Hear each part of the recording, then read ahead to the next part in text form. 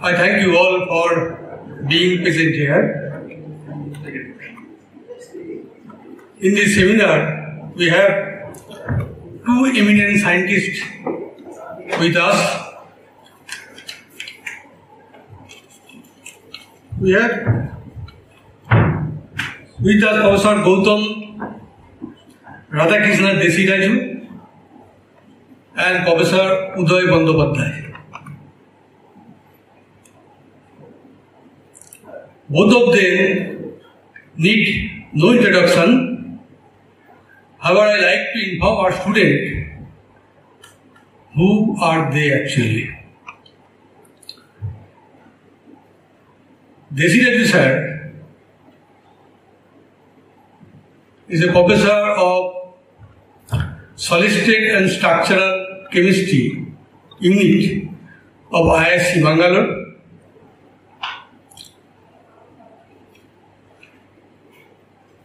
His research contribution, particularly notable in the area of crystal engineering and modeling of weak hydrogen bonding. He has published more than 450 scientific articles with citation more than 65,000 and H index is 100, 100 plus you can say. That means 100 articles are cited more than 100 times. Very limited. In India you can see, you can see web page of the scientists of different institutions. You will find it. It will range 25 to 35, 50. But in this case, Desiraju H index, Desiraju sir H index is more than 100. He is now a member of the editorial advisory board of Angew Chem, Chemical Communication and Journal of American Chemical Society. In these journals, it is very hard to publish for us. But he is there as the advisory, the advisory board. He is the former president of the International Union of Crystallography. He was awarded Acharya P.C. Ray medal of the University of Calcutta in 2015.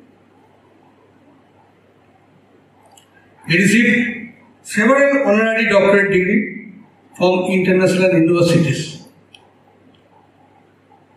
This is a small introduction of Desiraju sir. Another scientist present here, Professor Uday Bandyopadhyay.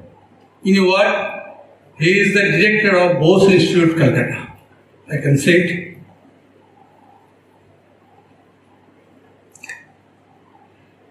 Now we are going to start the program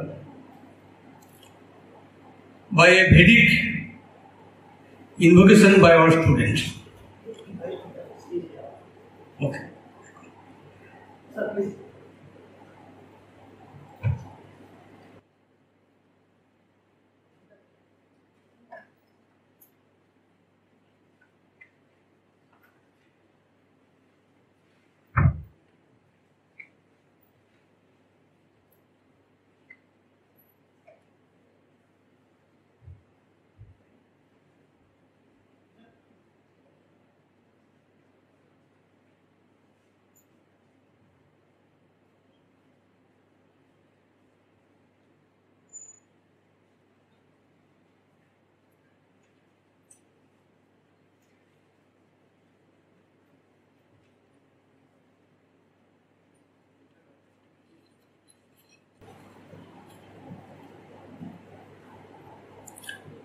President और principal Maharaj sitting professor Disha sir and beside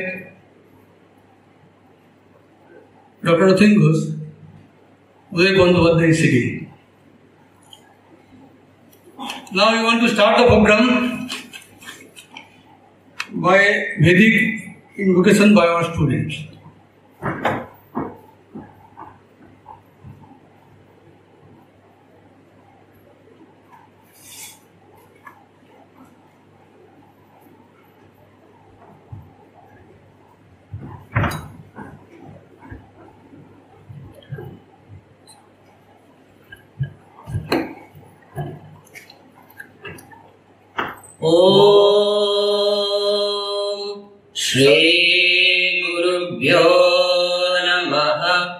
हरिः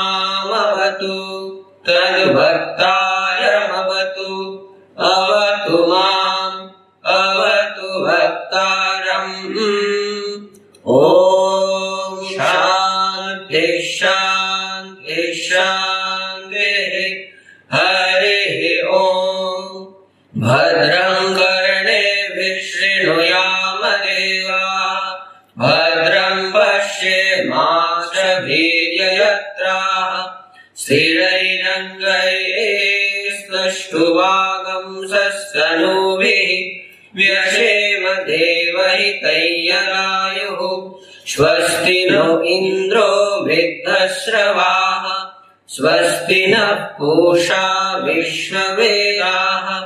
स्वस्ति नस्ताक्षो अरिष्टनेमिः स्वस्ति no बृहस्पतिर्ददातु।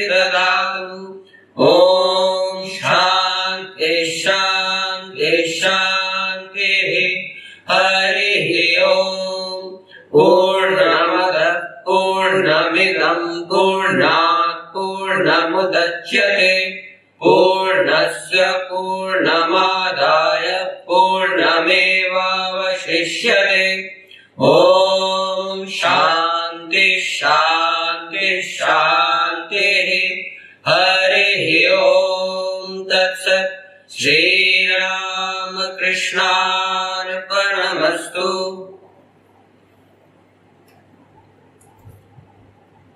Thank you, student.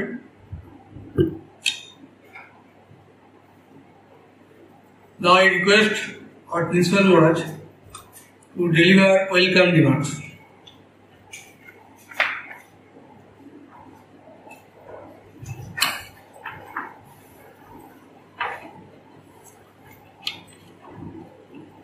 Om Namo Bhagavate Ramakrishnaaya. Uh, respected Professor Desiraju, Professor Dr. Uday Banerjee, Professor Ratindranath Ghosh, other distinguished members of the faculty present over here, uh, respected monastic members of the college family, and my beloved students, my respectful namaskar and good wishes in due places. On behalf of the Ramakrishna Mission Residential College family, I extend a most hearty welcome to Professor Desiraju. We feel elated to have him in our midst because he is having such a busy schedule and I'm particularly thankful to Professor Dr. Uday Banerjee for uh, having arranged this uh, gathering finding some space during his Kolkata tour. Incidentally, this seminar is being organized on the eve of the 75th anniversary of our uh, Independence Day, Azadi Ka Amrit Mahotsav. And also this year marks the 125th anniversary of the foundation of Ramakrishna Mission. So these two uh, events coinciding on the same year, and it bears a special significance to conduct such a way with another seminar conducted by the IQAC. Why science? That is the topic Professor Desiraju has picked up. And Ramakrishna Mission, right from its inception, or better to say, our tradition itself, uh, as a nation itself, right from the Vedic age, we have been trying to cultivate uh, this rationalistic way of life way of thinking. Swami Vivekananda in his famous Reason and Religion lecture delivered at London mentions Is religion to justify itself by the discoveries of reason through which every other science justifies itself? Are the same methods of investigation which we apply to sciences and knowledge outside to be applied to the science of religion? In my opinion, this must be so. So, against this backdrop, we're going to conduct this seminar. Definitely, science and religion are not contradictory to one another, rather, they are complementary. Possibly, this is what will be substantiated after this seminar gets over. Once again, on behalf of the residential college family, I extend a most hearty welcome to Professor Desiraj. We are very happy that we have a luminary of his stature in the midst of us today. Om Shanti Shanti Shanti Hari Om. Thank you, Madam.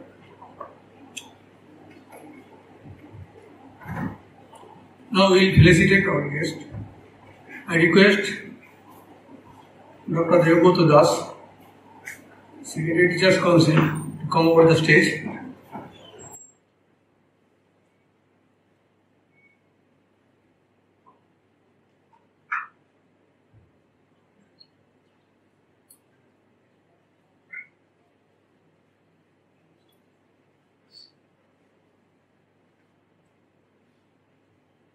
Lord Kinsan Maharaj and Dr. Devbhuta Das will honor Desiraju sir with flower bouquet and a memento.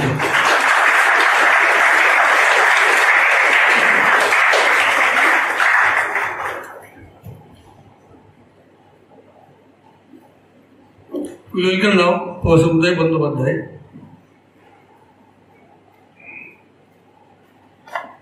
Yeah, with flower bouquet and a mementos.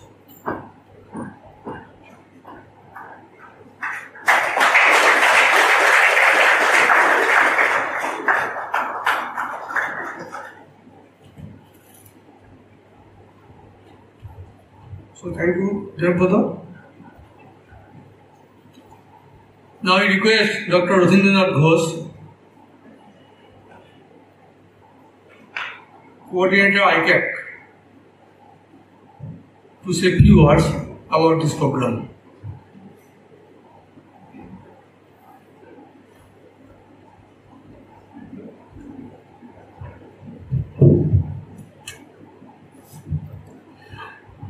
Namaskar. At this very outset, on behalf of the Internal Quality Assurance Cell, I welcome you all to this special lecture that is to be delivered by Professor Gautam Deshiraju, who is one of the most cited and acclaimed scientists of our country. IQAC, the Internal Quality Assurance Cell, is assigned with the responsibilities of taking different quality initiatives related programs aimed at the overall quality enrichment of the college. Today's lecture is also aimed at the same objective. This lecture will place science in proper perspective before the students and as I believe this lecture will also set a new benchmark for such quality enhancement related initiatives. I want to express my gratitude to Professor Gautam Deshiraju and Professor Uday Bandyopadhyay for coming over here. For to Professor Gautam Deshiraju for particularly being agreed to give a lecture here and for Professor to Professor Bandyopadhyay because for him all this has been possible. Thank you, sir.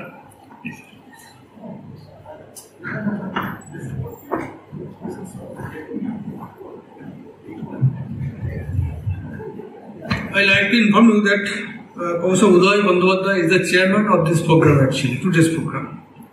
Now I like Professor Gautam Ramakrishna Desiraju to deliver his talk entitled Why Science?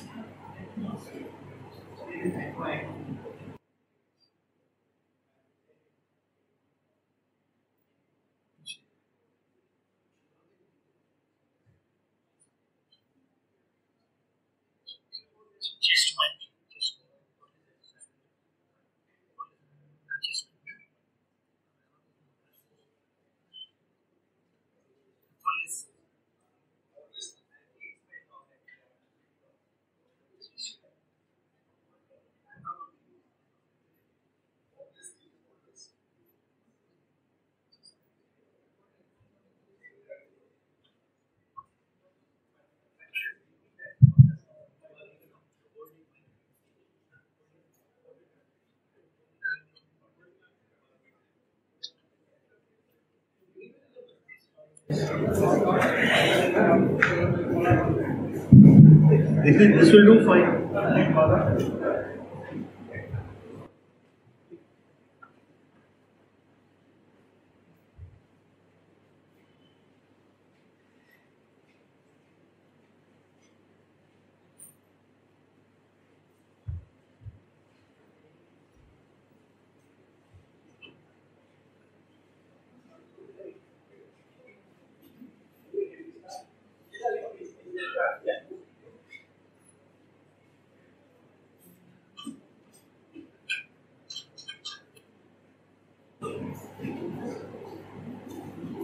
So, Principal Swami Ek Chittanand, Dr. Devprata Das, Dr. Rakesh Nath Das, Professor Uday Bandyopadhyay, and uh, everyone in the Narendrapur campus. Great pleasure for me to be over here and talk to you. And uh, you don't have to worry about that stage and all that. That stage is so far away, even Bangalore is closer than that. So, so I told him I'm going to change my talk after seeing the hall. So that's the first thing about science, you know. You have to learn how to think on your feet. After I saw the hall, I decided to change my talk. And uh, because I want to be a little closer to students and faculty and be part of the community here for about one hour or so. So, so the talk is fairly general about why science, and all of you are science students or science teachers. So, what is this business about doing science? Why is it special? And uh, why, why did all of you feel drawn, for example, to science? You had many subjects to choose from and somehow or the other you came into this area. Now, science is more than just studying some science subjects. It's more than getting an MSc or a PhD or becoming a scientist afterwards. You can have a science degree and um, do something quite different. Just now in the principal's office, I was telling them the example of Margaret Thatcher, who did a MSc in chemistry, structural chemistry in fact. And she was a research chemist in ICI, UK, before she got into politics. And many of the things she did in her policy matters were the actions of scientific thinking. So science is not just doesn't mean I have to do PhD or something like that. Far from it. Science firstly teaches you logic. Science is based on data, it's not based on hypothesis and imagination and all that. That is why we are all different from social scientists. Social scientists, they can go on doing so many things. They do also. I'm glad we are all not social scientists. Because after some time, gradually you begin to lose your grip on reality. Once you go into the realm of your own imagination and all that. So the thing about science is that it teaches you not to be prejudiced, to be objective, not to be opinionated, to keep an open mind. Scientists are generally very quick to admit their mistakes. People who study other subjects are not able to admit their mistakes so easily. This is a cultural flaw we suffer in India. Indians hate to admit their mistakes because we feel it's a loss of face. Even when we know we are wrong, we don't admit that we are wrong. This is a very debilitating feature of the Indian psyche. So, if you study science, at least this is one thing that it will, and if you study science sincerely, it will allow you more easily to admit your mistake. So, when you are really wrong, you don't, you know, when I'm right, I should. That's the other thing about science. When I am right, science teaches you to not yield. I sent a paper for refereeing, and the referee writes all kinds of rubbish. I know I am right. And if I am a good scientist, I will have the confidence to stand by what I have written. So you don't admit that you are wrong when you know you are right, or at least when you feel you are right. At the same time, when somebody proves to you properly that you are not right, you admit it also. So these are all things, that, general things, good things that happen to you when you start studying science. For example, you lose superstition. You know, a lot of mumbo jumbo. And again, Indians are superstitious people. I am superstitious. We are all, we are all superstitious. We are much more superstitious than people in other cultures. But if you study science, somewhere some sense, good sense prevails, so that you don't start doing, you know, very crazy things. Little crazy allowed, very crazy not allowed. Know. So now what I want to do really is, principal said I should speak for about 45 minutes. I'll try to stick to 45 minutes, but maybe 5 minutes more it will be, something like that. Anyway, now we don't have to worry about those stupid slides and you know saying next slide, next slide, and all. So some time is saved in that, so we'll can speak a little bit more. So what I thought I'll do is I'll give you some little examples of scientists from the past who I have selected because they faced some unusual problem somewhere and which came in the way. They, they were doing something in science and because of their science they faced some problem something like that roughly speaking. So these are not just any 10 people that i picked at random. I picked them with some purpose in mind. And uh, also to teach you about what made these people do science and what are the things we can learn from them so, the first uh, fellow I am going to talk about is Galileo. Now, we all know what he did. He went to the Tower of Pisa and threw that things, and then both the heavy and the light landed at the same time. All those stories we know. Now, Galileo was actually a very smart chap.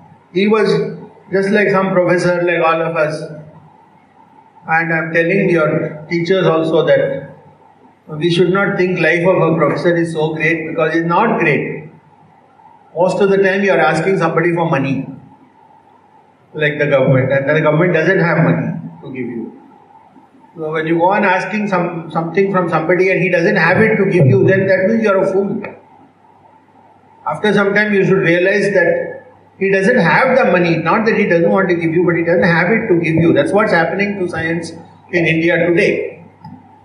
So be very careful before you start saying, I'll do MSc, I'll do PhD, I'll do postdoc, and I'll get a job, uh, then I'll. No, that, that's when it will stop because then you will not get any money to do your work.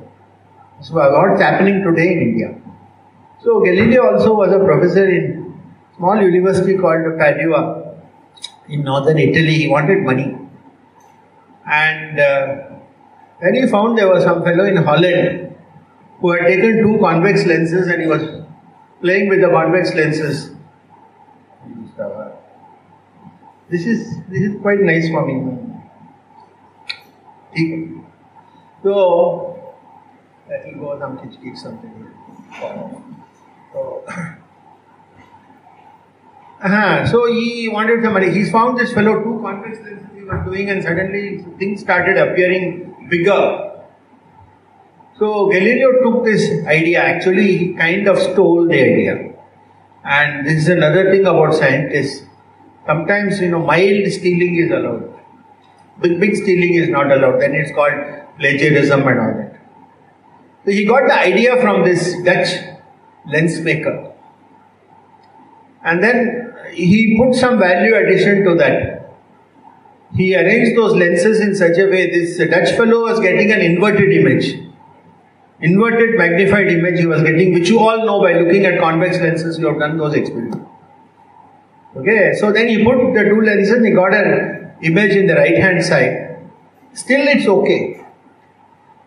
It was still a scientific discovery. Now he wanted money, like we all want money from DST, DBT, and all today, and I told you they don't have money to give. So he went to the Duke of Venice. Venice was a big city close to Padua. Padua was one small, you know, place. Then Narendrapur and then Calcutta is the big one. So he went to Venice and he went to the Duke of Venice. And Venice was a key maritime hub and port in those days. The entry into Europe from Asia. And the Ottomans were always threatening Muslims to try to come in and attack Europe. Don't forget they had been kicked out of Spain recently and they were trying to come back like this way. And Venice was the place where they wanted to come because Venice was very rich. So then Galileo said, Look, Duke, I've got this stuff and I'm going to call it a telescope. He gave a name also, very important. He was a brand marketing man also, Galileo. Telescope name he gave. He said, You see this? If I put it in that, an object that is far away, I can see it as if it's very close, including objects I cannot see with the native eye, with the naked eye. So Duke became interested. He says, Can you see a ship that is coming from far away? So Galileo said, Sure, I can see. I'll show you also. So then suddenly Duke realized that this is a strategic thing that he needs. suppose he knows that, that Ottoman ships are coming, then he will be able to aim the gun and all that and, you know, pulverize those ships. So suddenly he showered Galileo with money. So when you want money, you don't go to government and say, I am very poor, give me money, he'll kick you out. You go to the defense ministry and say, I've done something which will help you to solve some strategic need. No research is done just like a vacuum in the blue sky. So Galileo knew he needed money. Marketing thing he did. He got the money. And that was the first part of Galileo's story, which looks like a success story. Second part, he got into trouble. Because then instead of looking at the sea, he put the telescope and started looking at the sky. When he started looking at the sky, he started seeing all sorts of things. We all know phases of the moon he saw. Then he saw that uh, the moons of Venus, and he started seeing Jupiter. And then the thing that got him into trouble was that he got saw a lot of stars in the sky. more stars that you can see with the naked eye because of the telescope. He was so excited. This was all his fundamental research thing. So he started saying all these things. I saw these stars. That's when he got into trouble. He got into trouble with the church.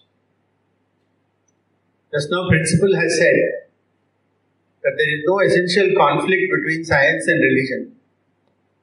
I just want to modify his statement. There is absolutely no conflict between science and religion only in Sanatan Dharma. In any Abrahamic religion, there is a direct conflict between science and religion because that religion depends on matters of faith, whereas science is based on evidence. Because our Shastras tell us if the evidence says something else, then the theory has to be changed. It says it very clearly in numerous places. In Sanatana Dharma, there is no conflict. Every other religion there's a conflict. Why was there a conflict of Galileo and the church? The Bible says that God made the stars to light the sky in the night so that people can see. So then the church asked him, then why did God put stars which you cannot see? Looks logical, no, from their point of view. So then they went to the next step. So you are going against God's works.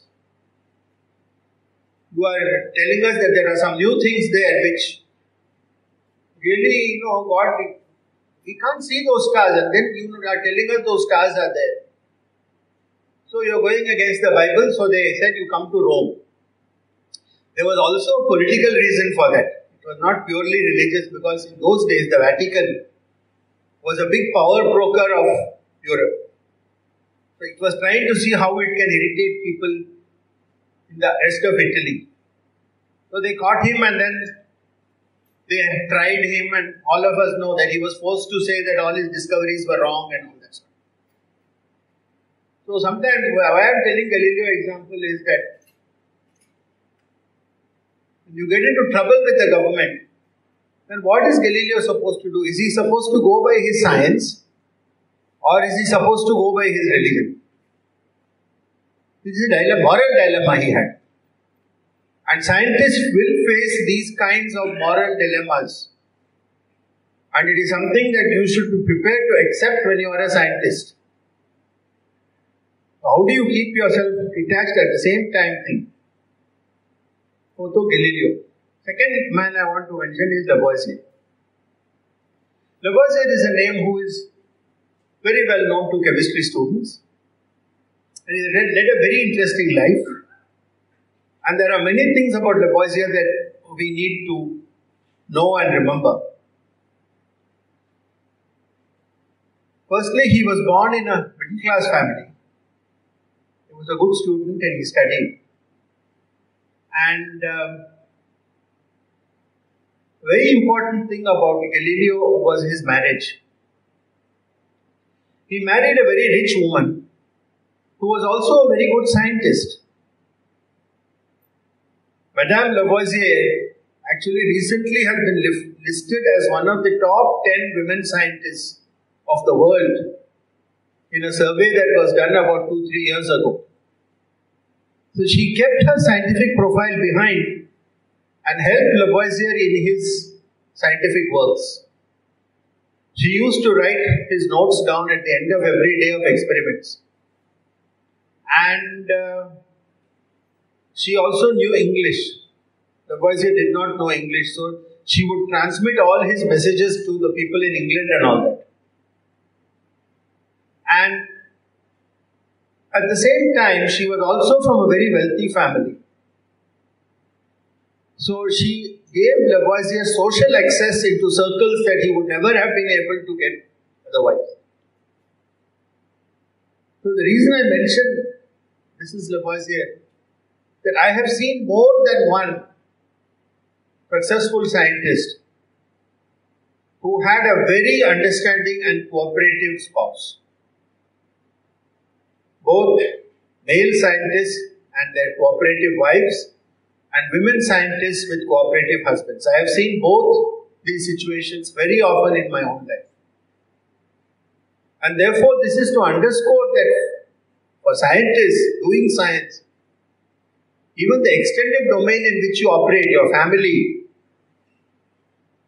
your immediate thing, surrounding, it's not just the lab and students and all that, but even the kind of cooperation and the kind of support and the kind of encouragement that you get from your spouse is very, very, very important. Don't underestimate that part. It's not that this work is that the science is something different, some family, something else is different. No, no, no, no, nothing is different. All are the same. God only gave you one life to lead. And that life includes all these parts, holistic. Now, his famous scientific discovery, of course, is his discovery of oxygen.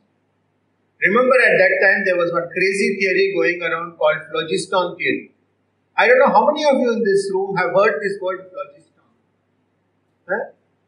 No, nobody. This you should you have read, you know phlogiston. Please go and read what is phlogiston. It was a very crazy theory that went on for 100 years. And many notable scientists believed this phlogiston theory. People were studying burning, you know. So they said those substances that burn very easily have got a lot of something called phlogiston.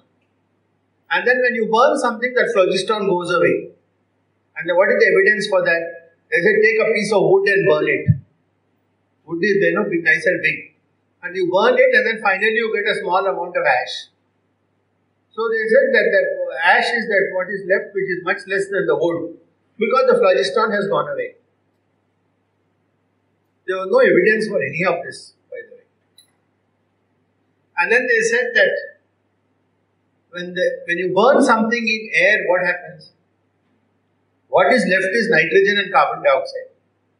So they said that from the air, phlogiston is taken away.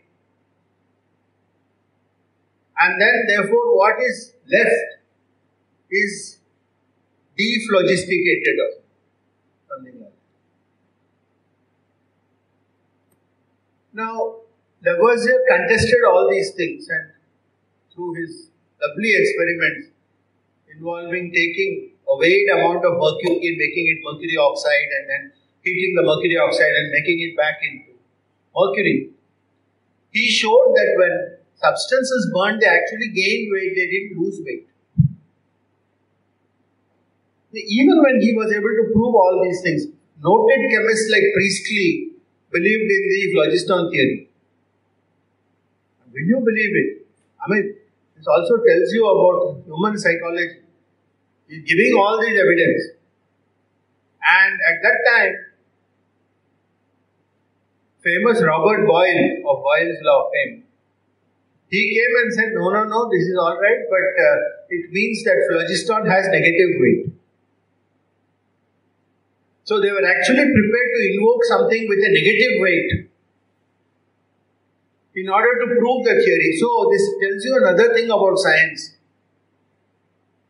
The moment you put your theory, that means your ideas, all that social science type thing, if you put those theories above the data and the facts, then you have to start contradicting yourself.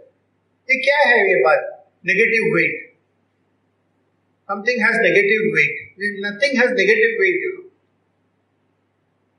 so finally and because of this you know one can give a beautiful, you know, full one hour lecture on Lavoisier itself. He made oxygen as the most important element in the periodic table. Because this oxygen is something against which all the elements are calibrated.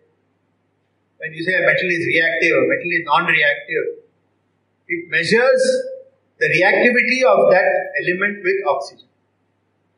There is one more element which reacts with every other element, that is fluorine. But fluorine is so rare and very difficult to obtain in the natural form, so we don't think about it. And I've written somewhere, you know, if you look at the periodic table, in India we've got no President of India, Draupadi Murmu, Prime Minister of India, Narendra Modi. So we know what is the relative power. Who is more powerful? We know. So just like that, gold may be the president of India, but oxygen is the prime minister. That will tell you the importance of oxygen because oxygen likes some elements more, it likes some elements less, like Prime Minister. And whom the Prime Minister likes, whom the Prime Minister dislikes, makes a very important difference in their individual fates also. So it's not important hai oxygen, whole periodic table, the whole chemistry. Oxygen is the ruler scale against which everything in chemistry is calibrated. If you ask me, it is the most important element, not just important for human life. That also may be because of this.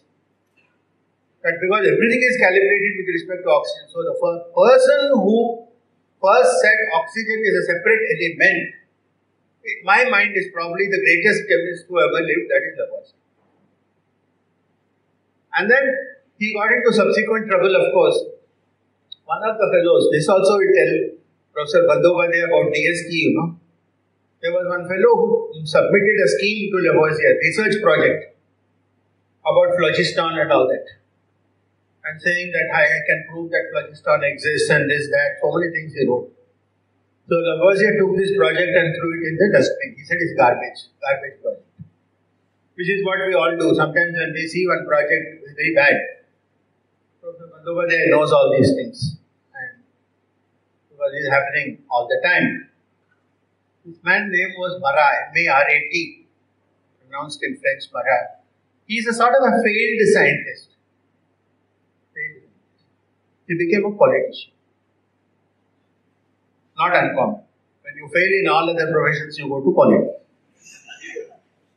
So he went to politics and he was one of the ringleaders of that French Revolution. And you know what that French Revolution was. In that famous Place de la Concorde in Paris, they put one big machine called guillotine. So they take all the people whom they don't like and they give them a trial of about five minutes and then take them to the guillotine and chop their heads off.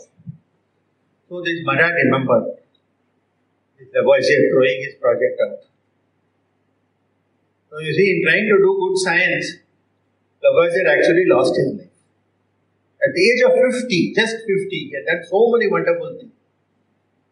There was one trial, this Marat was the chief judge. So he says, uh, the republic does not need scientists. That was the word. So France had, was changing over from a monarchy to a republic. So they said, republic doesn't need scientists. So we'll chop his head off. Within 15 minutes, they took it and they chopped his head off. So he paid with his life actually. And when he died, there was another famous mathematician, French mathematician, called Lagrange, whom you might have heard in this famous word Lagrange polynomials. Joseph Louis Lagrange. And he said, it took them an instant to chop off his head. It will be another hundred years before a similar person is produced in France. You know, so that was the high regard in which Lavoisier was held by all the people, the French scientists of the time. So you see, Lavoisier is a life of great ups and downs. And it tells you that, you know, science, in trying to do good science, he changed chemistry forever, which is why I'm talking about him. You know, nearly 250 years after he died, with such great respect. But at the same time, he lost his life because in the Galileo case, the science came to conflict with religion. In the second case, science comes into conflict with politics. So these are all the things that will happen to you sometimes when you get into a life of science. If you want to do your science properly. Now let's move a little faster. And uh, very briefly, I'll take a chemist by the name of Richard Willstätter. Some of you might have heard his name, others might not have heard his name. He was a Nobel laureate, 1915 or 1916, I think, he got the Nobel Prize. He was a synthetic chemist, a very famous synthetic chemist who used to be a full professor in the University of Munich in Germany. His name is especially well known for the synthesis of alkaloids, especially cocaine, tropine, all these fused heterocyclic alkaloids. So it's a classical name in natural products organic chemistry. Now, the measure of the intellectual prowess of Willstätter, I have talked with many synthetic chemists over the years. And uh, usually, when chemists start talking to each other, we start discussing obviously chemistry. Uh, which do you think is your favorite reaction across historical time? Many people mention Willstätter synthesis of tropine. Now, what was so great about the synthesis? He published it in 1906. Now, all of you are what is it? BSc, MSc students. So, you all have chemistry, you all have studied, or you are studying. How many of you don't study chemistry here at all? Everybody has studied. So, good. Then you will understand the example that I give. So, this is an exam question. How do you make para nitroaniline? So how do you make para-nitroaniline? Anybody can answer. You take aniline. You cannot nitrate it directly. Because if you nitrate, if you take aniline and put a nitrating agent in that, you will get a black mess. It, uh, aniline is so reactive towards electrophilic substitution that uh, it will just become tar. So you can't do that. So when you are asked to make para-nitroaniline, you will say, ah, so I can't use nitrating mixture. So I'll take aniline, I'll put acetic anhydride, I'll make acetanilide, and that is called protecting the amino group. To protect that group and make a compound called acetanilide. Now this acetanilide you can treat it with nitrating mixture. And that acetanilide also, because of that NH group there, it becomes orthopara directing. The main product is para nitro nitroacetanilide. You still don't have your final gold compound, that is para nitroaniline. So then that is the next step. I take para nitroacetanilide and then I hydrolyze it, which is a very simple reaction. Just boil it in some mildly acidic medium it will knock off the acetyl group again and then I get my para-nitroaniline. So, suppose I am saying, I am giving you the question. How do you make para-nitroaniline from aniline? By your intuition and your knowledge, we'll say first protection step, there is a nitrating step, and there is a deprotecting step. This is something that you and I and anybody in this room will just be able to do automatically. We'll get a synthesis of tropinone, which is the precursor to tropine and then cocaine, did not involve two steps. He started with a compound called suberonone, which looks quite different from his gold compound. Suberonone is a seven membered ring ketone. You can check it out in Google. S U B E R O N E. Suberonone he started. So then he started doing all sorts of reactions with it one, two, three. Not just two reactions or something, not three steps, not four steps, not five steps, not six steps, not seven steps, not eight steps, 16 steps. He visualized in his head only he looked at tropine structure, he knew what is suberonone, and he could visualize those 16 steps in his head. That is why so many synthetic chemists today, I have asked K.C. Nicolaou, I have asked Stuart Schreiber, I have asked all these people, they come back to this Willstätter synthesis of tropinone, 1906. They think, how can one man think of 16 steps like that? He must have been literally genius. I mean, we know these organic reactions, sometimes they work, sometimes they don't work. Crazy it is. He could visualize the whole thing and then he could do it also. Visualizing is one, doing is something quite different. So all these things he put together and made so his ability to foresee, foresee into the future, foresee into those reactions is so great that you can't understand it today. I can't understand. it. How somebody could have, you look at you, all these things are now downloadable. Just take Willstätter synthesis of uh. How somebody could have visualized all these steps and transformations, one after the other, one after the other, one after the other. He was at the height of his intellectual powers. 1915, he got a Nobel Prize.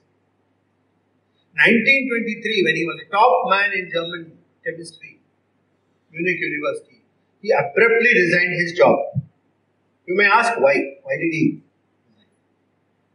Hey, by 1920, after First World War, I'll give you the hint, Willstätter was Jewish. I think now you are beginning to get the picture. So he started seeing things, not very big things, but just small things. One of the things apparently he saw was he was coming to the lab in the morning and he saw some young boys kicking a dog. Small school kids. So he asked them, Why are you kicking that dog? The, he, that uh, schoolboy told him, That's a Jewish dog, that's why I'm kicking. He just saw some small things like this. 1923, without anybody telling him anything, he just resigned the job.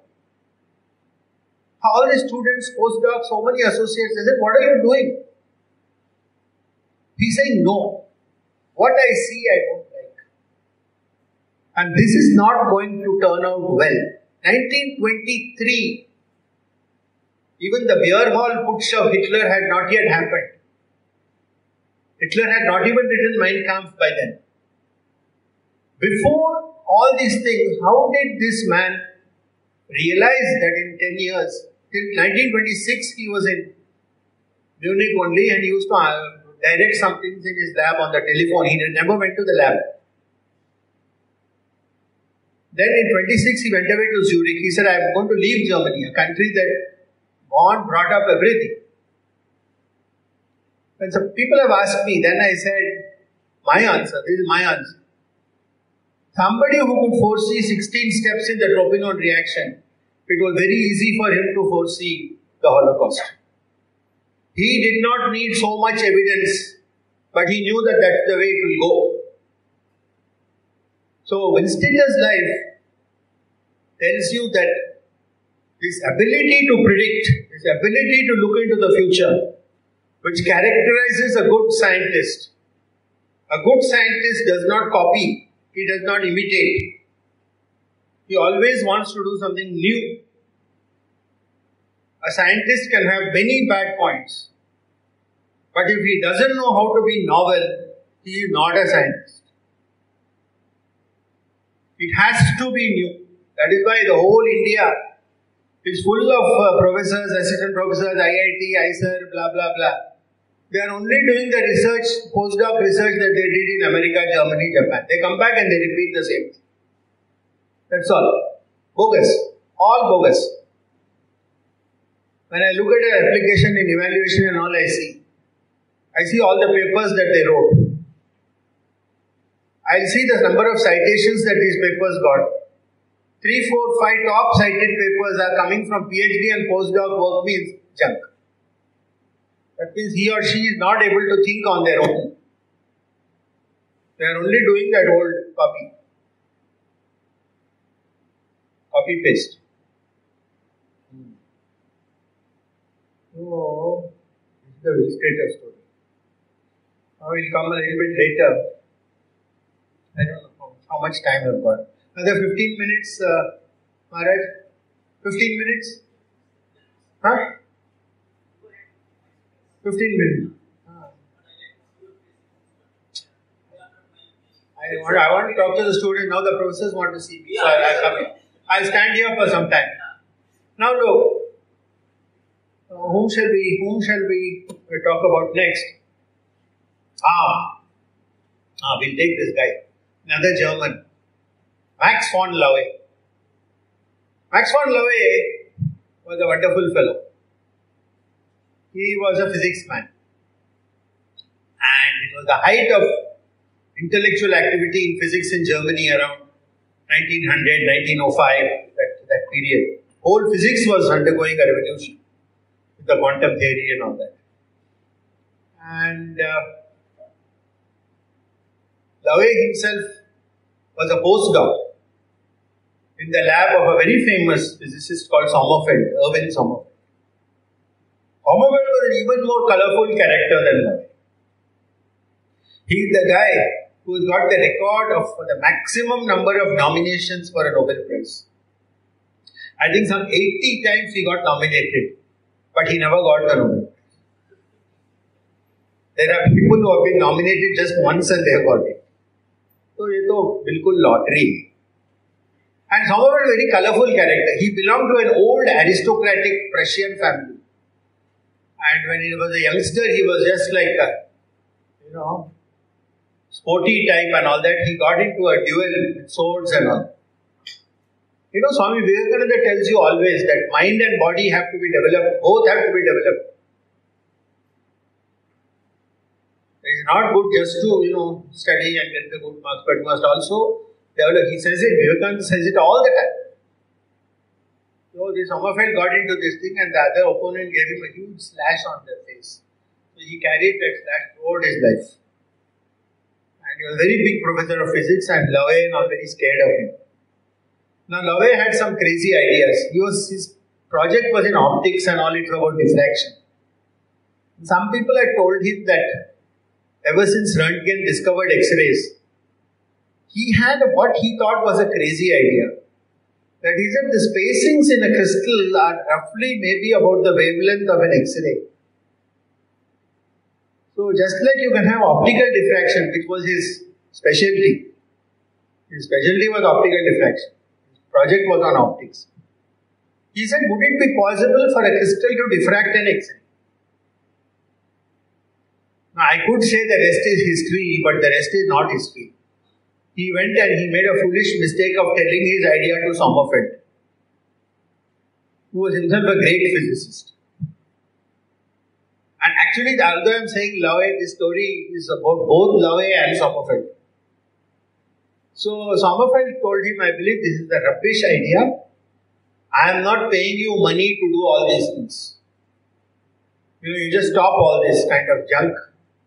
You do what I have told you to do, you do that properly, that's enough. Don't waste my money in doing all this. So, Laue just kept quiet, he bent his head down. I mean, the professor is telling you something, then what can you do? Just have to put your head down. Then the Sommerfeld I told you, this sword fencing and all that. He took a three day holiday from Munich and went somewhere, maybe to have some more of this fun with some of his friends. So suddenly this Laue got one dirty idea. He said, This man is gone for three days. So he called two assistants in the lab called Friedrich and Knipping. They are all three legendary names in crystallography today.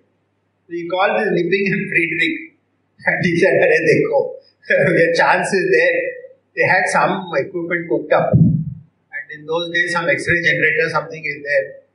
That whole ramshackle thing is there in the Deutsches Museum in Munich. So we, we all go there today and just look at it. And then then they took the only crystal they had immediately, they, somebody remembered copper sulfate, they had something in the lab which was on big blue crystal. So they just pushed that in the X-ray beam. They put one film and then really the rest is history because he saw those five dots. And uh,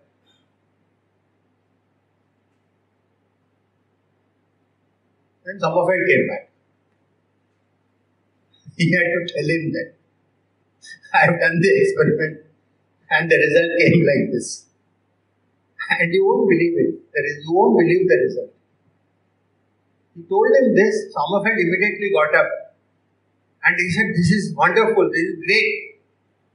Immediately I am going to communicate this result to the Bavarian Academy of Sciences.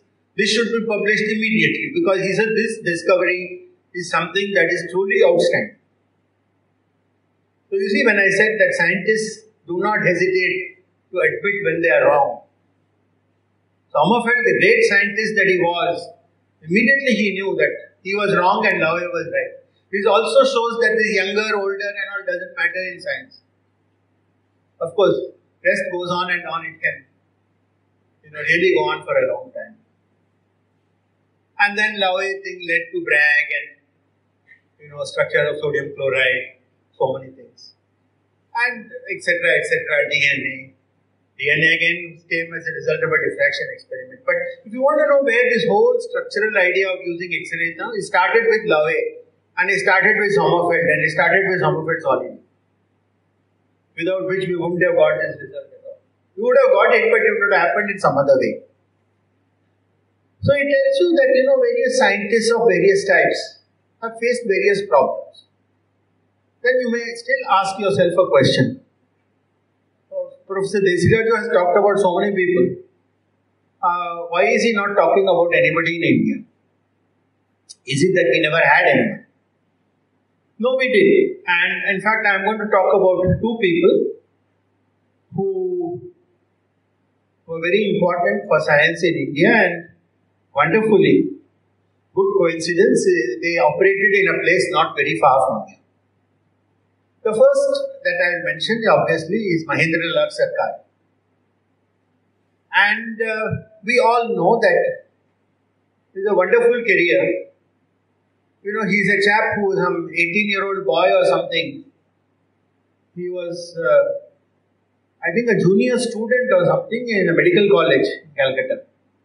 And the British professor was asking some question to the students, medical students and nobody could answer. And this young boy outside, he shouted the answer, which was the correct answer. And uh, so the professor said, Who is that chap? Who is? Then they said something, he's just a young student or he's not even a student, something like that. So then he became one of the foremost practitioners of allopathic medicine in Calcutta at that time, around 1870 something, 75 something, that period. And then suddenly, once again, just like scientists are not scared to change, you know. Fear, fear does not a uh, emotion that comes easily to a good scientist. So if you are a fearful person, then think twice before you get into science. Fear is something that uh, doesn't go with science. He you know made a what physicists call first order phase transition and he got into homeopathy. And in fact, he is one of the doctors who treated Sri Ramakrishna. He was his homeopathic doctor. And in those days, his homeopathy thing was very important in Calcutta and the same. And even that was not enough for him. Please, if you look at the history of India, history of Bengal, around the period, you know, 1890, that, that era, India was at her lowest ebb. I call it 1200 years of sadness. Was hanging over the country like the dark monsoon clouds today that you see, like that 1200 years of dirty history was hanging on us. We were at our lowest. The British had completely castrated us mentally so that we lost all sense of self-worth. An inferiority complex that continues even till today, 75 years after independence. At the moment we see a white face, we start getting excited. You people are all young. You don't have this baggage. Please don't get into that what Sai Deepak calls coloniality. Don't get into that. It's not required. They're stupid people. Same Germany of Willstätter and Laue. I was telling principal and others last week they have passed a law. I can't recognize that this is the Germany of Willstätter and Laue.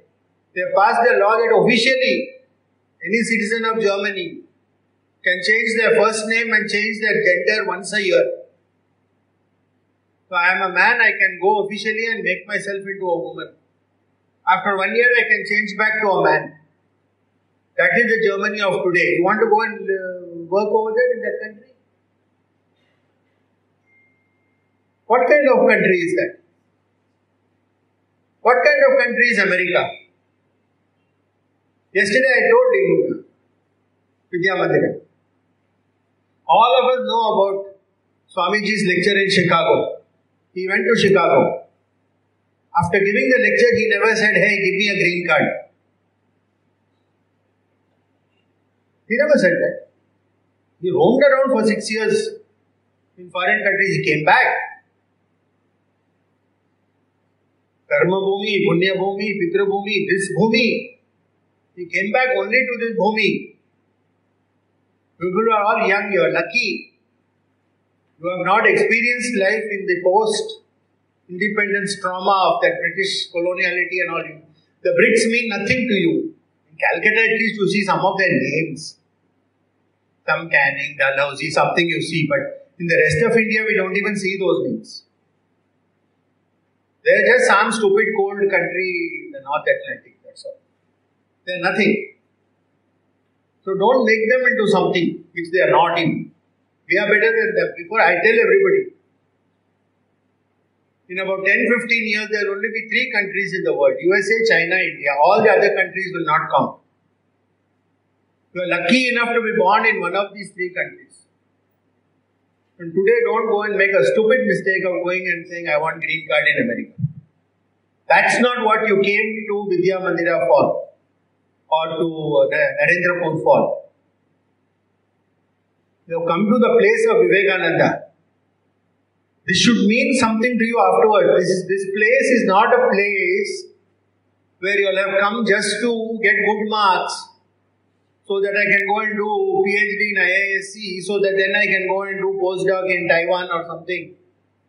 Ah, Taiwan. Today the Chinese are uh, PLA, uh, encircling Taiwan completely. What happens to all our great fellows who say Taiwan, Taiwan, Taiwan? So many people are running to Taiwan. Kya hai Taiwan? Not even a country. Already I ruled out all the countries except three and I said that one of my very dear and close Italian colleagues has told me, he said, Gautam, after some time Italy will be like Disneyland. Only rich Indians and Chinese will come there to, you know, see all our sights. So don't, don't make more of these foreign countries. See, this time of India has come now and see, Sarkar means he could foresee all this. Within 15 years, Raman came and he discovered that. the only true indigenous discovery. One of the few Indians who did work in India and got a Nobel Prize for it. All the others, either they did the Indians who did work outside, you know, some fellow got economics, somebody from Calcutta. What is his name? Huh? Amartya Sen, yeah, he worked in Delhi, but he did all his work abroad. This other fellow who got last. Huh? Banerjee, something his name. What is his name? Abhishek. Abhijit Banerjee. Some Abhijit Banerjee. You know, Indian got it over. Oh, he went to JNU, he prepared some paratha over there. all the junk. Junk, they're all brown Americans, they're not Indians. अभी Indian है Indian lab में काम किया है because of that काम done in Indian lab did he get Nobel Prize? Yes or no? No means no. हम Khurana No. None of those people. Only Raman only C.V. Raman Chandrasekhara Venkata Raman who came and did the work in cultivation in this lab set up by Mahendra Lal Sarkar. Remember all these names. At a time when India was psychologically lowest, one minute. I'll ask here. I'm finishing. I'm reaching the end. Now, after Raman, I can't say anything else. So, I'm not saying these, these people are not gods. Ah, Galileo is not a god, uh, Lavoisier is not a god, Raman is not a god. They are all ordinary people who faced problems, big problems. because of their science. Raman wept when he went to get the Nobel Prize because he saw that Union Jack flag flying over there. The fact that I'm not able to pick up a prize under the flag of my own country, have a country of his own. Oh, that is the story. So when I say science, I don't know what you are expecting, whether you thought I'm going to give you some learned uh, talk about this and that. But this is what it is, and as I said, scientists should not be scared. And absolutely, the very last thing I want to say, something which is, of course, interesting and very close to me. Scientists, I told you, should not be scared. I think already you know my general attitude towards the social sciences. I've got a lot of good friends in that those departments. Don't forget, I was in the University of Hyderabad for 30 years before I went to IISc. So, in a university, like you'll have a lot of fun. Social scientists, this, that, they'll be there talking, drinking coffee, and all that. Which we scientists don't like to do so much. Some Ganga Dhaba, something different, different type. They're different type from us, not the same. So, during the COVID time, I was, you know, just locked up in the house like everybody else. So I started reading. I couldn't go to my lab. I sent away all my postdocs to their native place, and uh, so obviously I'm quiet. So I don't want to waste my time. So I started reading. So I was actually thinking about our own country and the fact that most of my life I've spent in India. I spent three and a half years getting my PhD in University of Illinois. Two years I worked in Eastman Kodak Company. सिर्फ साढ़े पांच साल I have spent outside India rest of my life I have spent only in India so i have seen this whole tamasha and drama of india in the last 75 years i am now going to be 70 in a few weeks from now so i have seen quite a bit of this show you know what's going on so i started wondering why is everything so horrible why is it that nothing seems to be okay and i'm not talking about uh, political party or political affiliation, this, that. No.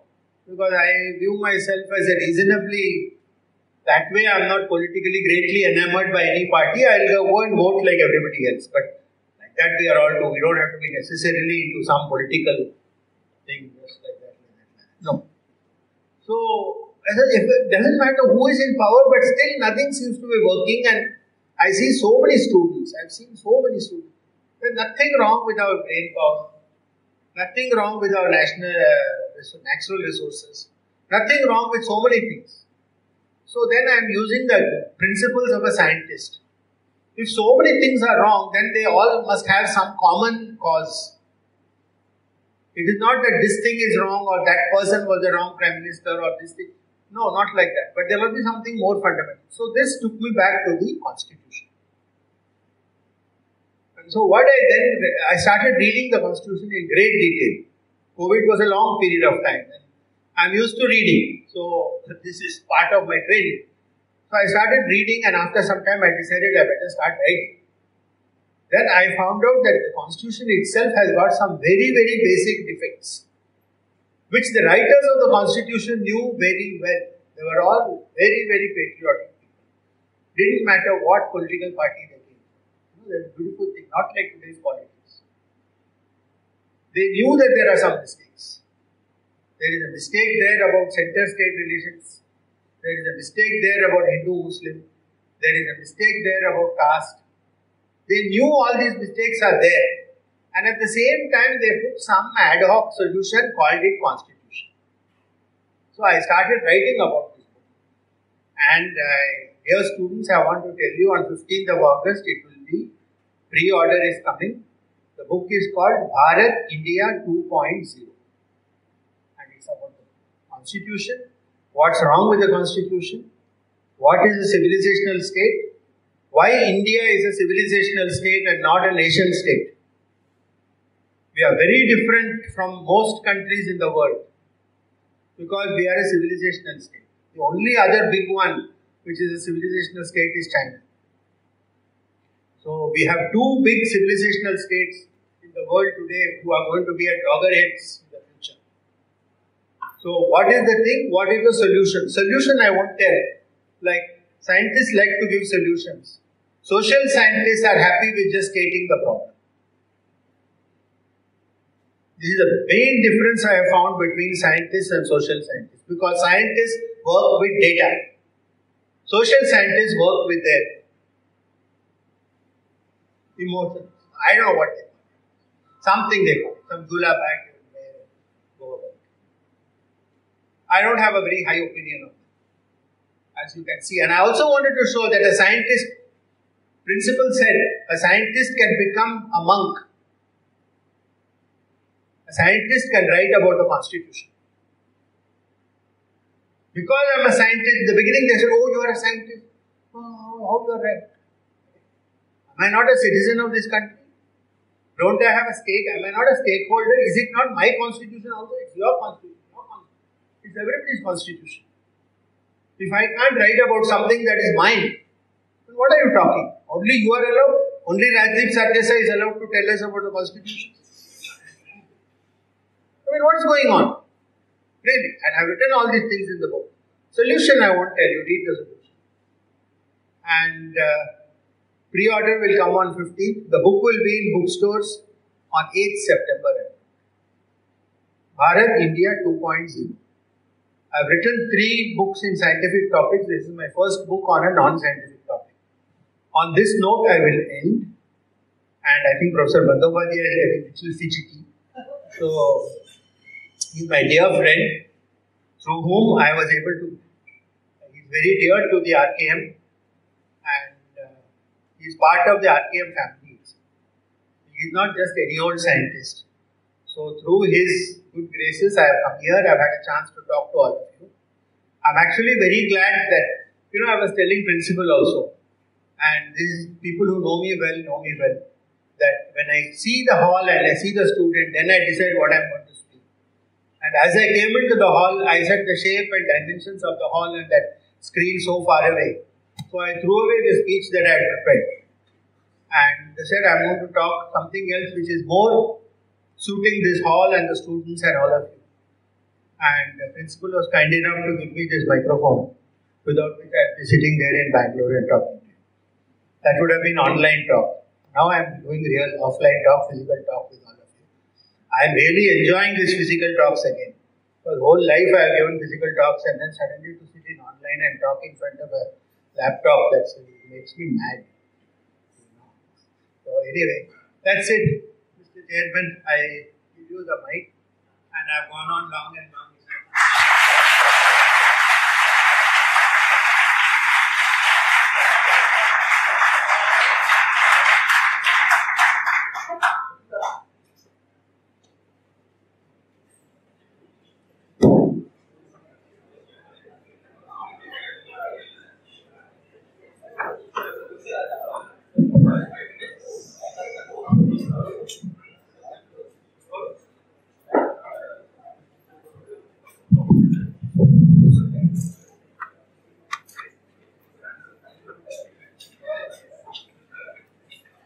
Sir, for his inspiring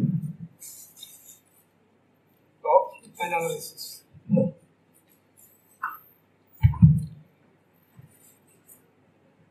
Now I request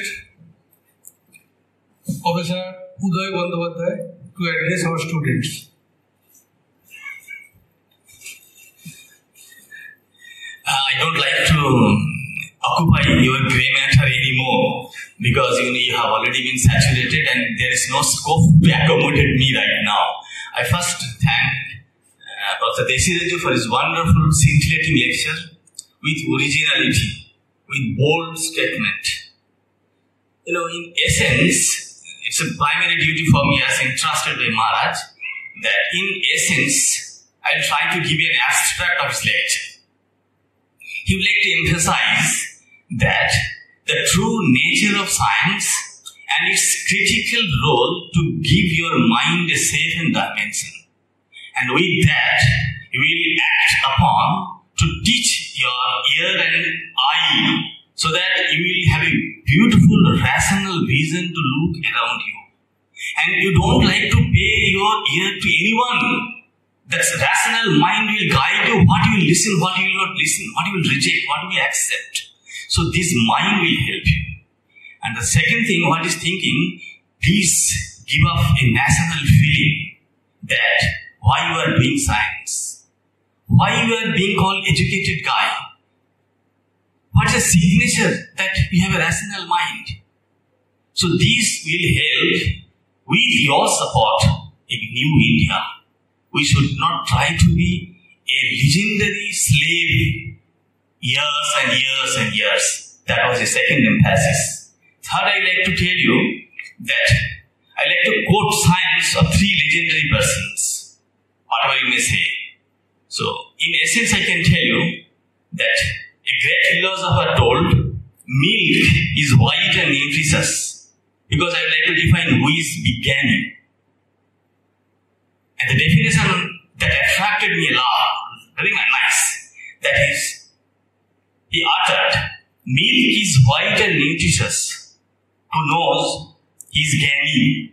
Who does not, he is organic. But who consume milk and became healthy, he is Gani. Quoted by Ramakrishna. I like to quote that the confusion between science and technology just like different religions, they are fighting each other. In, in India, science and technology, they are fighting with each other, formulating and doing something and not knowing, consuming nothing.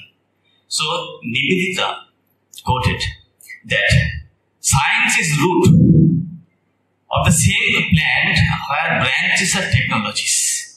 So, science will imbibe nutritions keep the plant growing so that the flowers and fruits of technologies will emerge. So there is no conflict between it. In essence, Professor Desiraj would like to tell all these things in a very nice mode. The third aspect I like to quote Swami Vivekananda. He categorically mentioned how you will say that you are knowledgeable guy, you are a scientifically tempered person. He told you must have three steps. Knowledge follows three successive steps. First, emotional appreciation.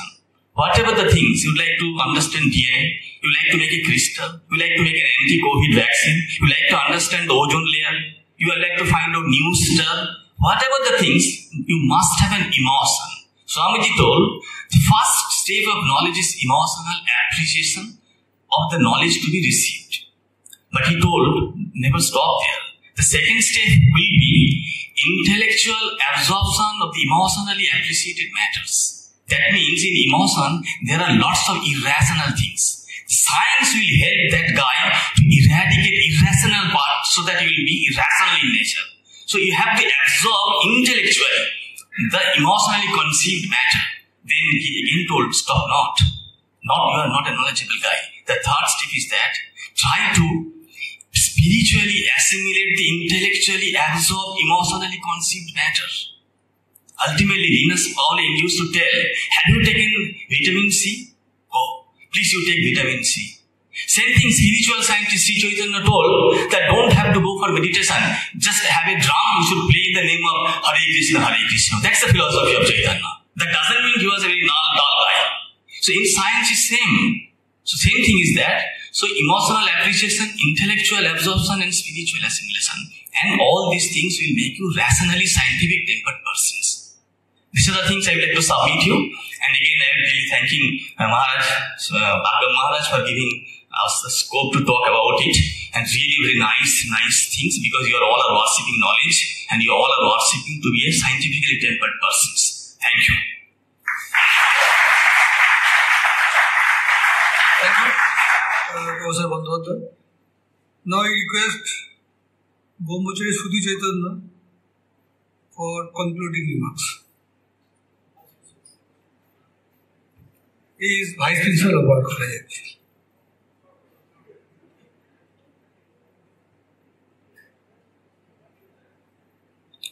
Om Namo Bhagavate Sri Ramakrishna. It's my honor to propose the formal vote of. I should say that we are all very fortunate to have had, to have had amidst us not just one scientist but two eminent scientists with us and where we could hear them in what they had to say about science in general. At the outset, on behalf of Ramakrishna Mission Residential College, we would like to extend our heartfelt thanks, gratitude, and appreciation to Professor Desiraju, who is an honorary professor from the hailing from Indian Institute of Science, Bangalore, for his interesting, engaging, and thought-provoking talk. As uh, Sir also mentioned, uh, Professor Banerjee, it was a original uh, thought that he shared with us through his different uh, anecdotes of great genius scientists. He drove few important points which we need to remember as students of science. I just want to summarize, summarize and just list out those points. I may have missed few things, but he insisted on having a data-driven approach, open to admit mistakes, unbiased approach, be fearless, and be novel. The novelty is lacking. So all these things he indirectly conveyed to us through his different anecdotes. So that was all in all an interesting talk for us. So on behalf of the college, we thank you once again, sir, for your wonderful lecture. And we would also like to extend our heartfelt thanks to Professor Banerjee, Director, Bose Institute, Kolkata, for summarizing what uh, Professor Desiraju mentioned so succinctly, giving examples from uh, Thakur, then Sister Nivedita, Nivedita and Swamiji. And we would also like to thank uh, uh, Ratindranath Ghosh, Professor Ratindranath Ghosh, for emphasizing the importance of science. And seminars such as this will help us to enhance our science and also to develop that scientific outlook in you all. So you may have liked this subject, science, and have taken, but now there are certain things which you need to follow in order to be a good scientist or a good science student.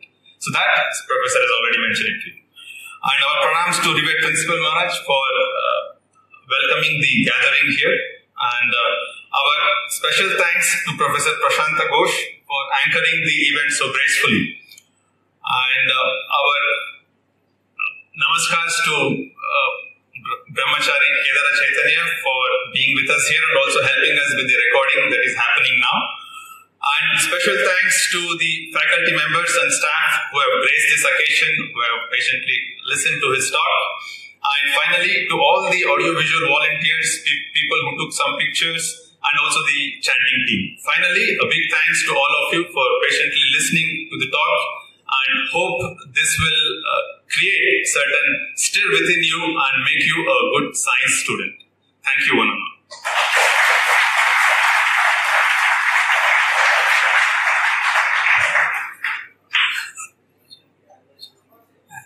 It is the end of the program. Now I request students to be there. First, our guest will come out. Then, okay.